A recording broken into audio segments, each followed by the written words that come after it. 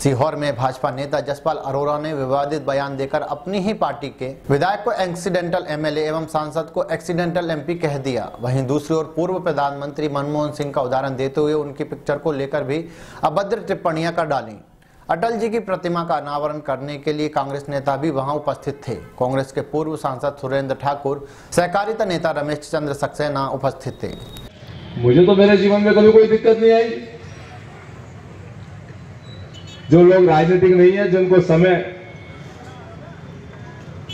कई बार जैसे अभी पिक्चर चल रही है एक्सीडेंटल प्रधानमंत्री।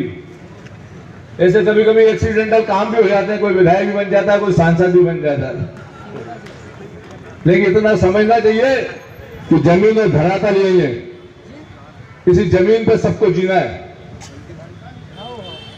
नगर पालिका की बात करूँगा। नगर पालिका अध्यक्ष जब मैं रहा तो मैंने भी ये प्रयास किया।